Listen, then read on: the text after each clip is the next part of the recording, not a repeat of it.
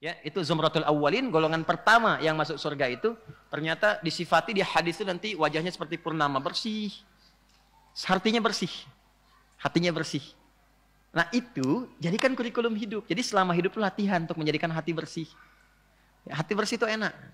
Enak. Jadi melihat sesuatu itu dalam konteks yang baik, harapan orang berubah jadi baik, harapan semua mendapatkan kemuliaan. Nah, itu orang-orang bersih seperti itu itu golongan pertama masuk surga dari umat Nabi Muhammad SAW. Ya, dan diberikan nanti penampakannya seperti apa? Seperti rembulan di purnama saat purnama bersih.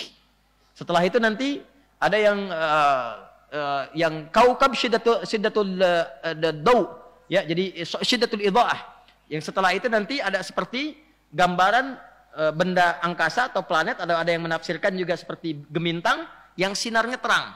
Ya, setelah yang tadi gemu, uh, rembulan ya yang jernih bersih ada yang sinarnya terang. Nanti macam-macam indah sekali. Dan itu wujudnya amalan.